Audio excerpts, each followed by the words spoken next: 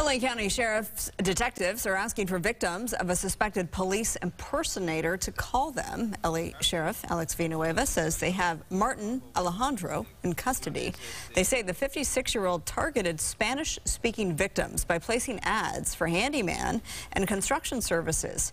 Investigators say Alejandro, seen here, told at least eight victims he was law enforcement and cheated them out of $100,000. The sheriff says those who were victimized should not be afraid of deportation if they report any crime.